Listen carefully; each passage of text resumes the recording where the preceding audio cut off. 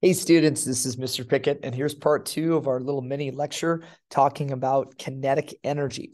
So uh, last time we talked, we talked about potential energy or potential for energy, and we learned that gravitational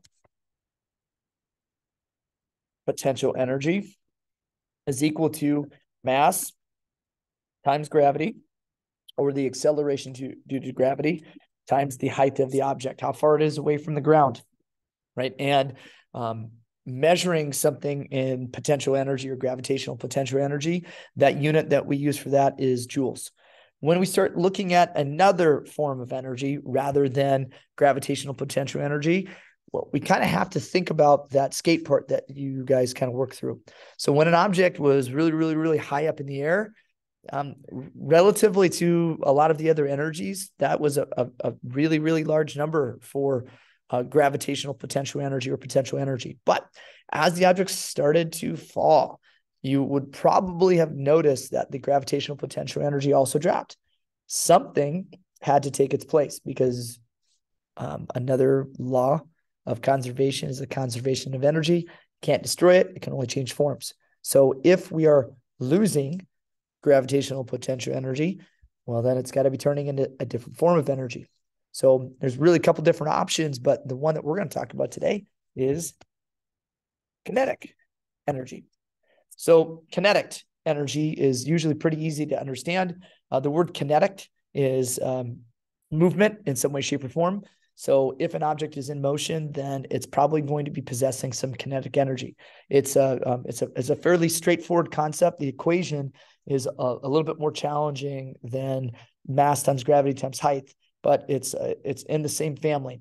So if I have an object that starts really really high up in the air, not moving, it's got no kinetic energy because it's not moving, but it will start to gain potential energy as excuse me, gain kinetic energy as it starts to drop.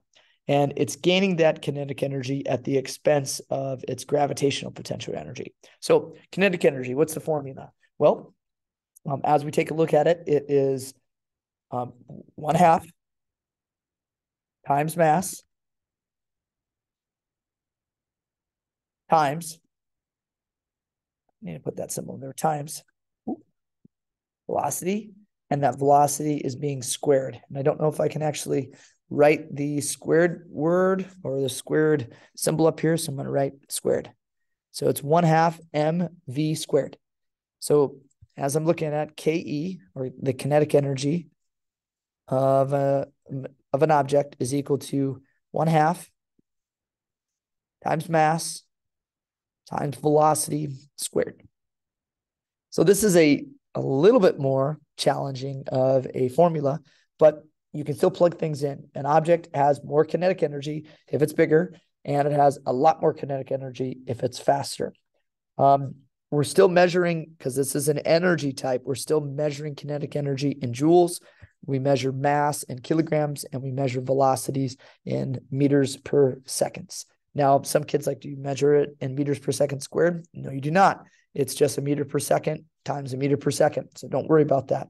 Um, as we're taking a look at kinetic energy, right? Yeah, kinetic energy has to come from something. Either something has to bump into it, um, or an object happens to be really, really, really high up in the air and it's starting to fall and its gravitational potential energy will start turning into kinetic energy.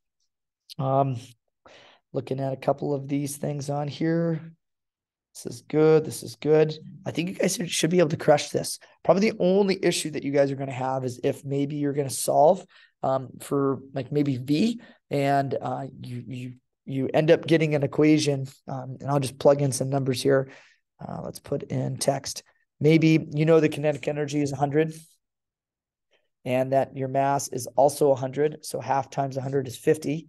And you're going to multiply that by V, and then that V needs to be squared.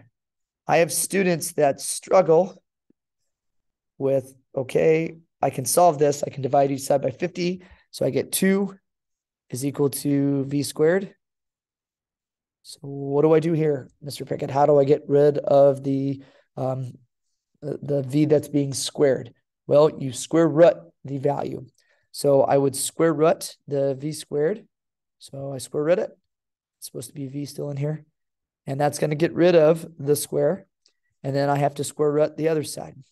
Now I don't know what two squared, um, uh, the square root of two is, excuse me, off the top of my head, but that's your answer. Your answer is going to be whatever the calculator tells you that the square root of two is. So that's probably the only math that's on here that I don't know if you guys have seen yet. So hopefully this helps you guys understand kinetic energy a little bit better. It's the energy of an object that it possesses while it's in motion. Now, by the way, some of you are like, well, momentum, it's just mass times velocity.